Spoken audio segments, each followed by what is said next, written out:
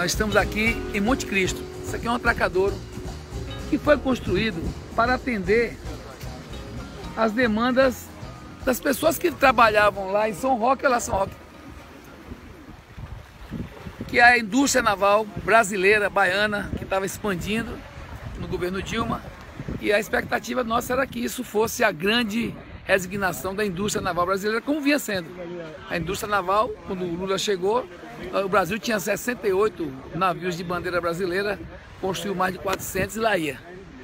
Mas Temer e companhia entregando o que nós temos de bom no Brasil, principalmente nossa indústria naval, como se não bastasse a Petrobras, o pré-sal, a nossa economia, a... tanta coisa gente está acontecendo de ruim com, nossa, com nossas riquezas e com nossa economia. Estamos cada dia ficando mais reféns deles. Eles acabaram praticamente com, com todos os investimentos de São Roque e esse tratacadouro ficou aqui sem muita utilidade porque as pessoas não estão mais trabalhando, desemprego absoluto. Nossos jovens, inclusive, que foram preparados na Espanha, na Alemanha, no Japão, para trabalhar aqui, jovens daqui da região, todos eles sem ter onde trabalhar.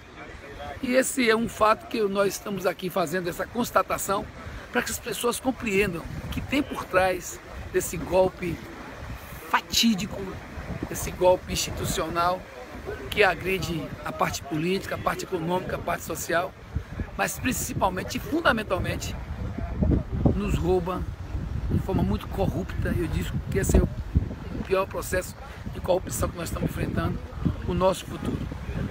Vamos encerrar com essa imagem linda aqui de Monte Cristo, que coisa maravilhosa. São as belezas da Bahia.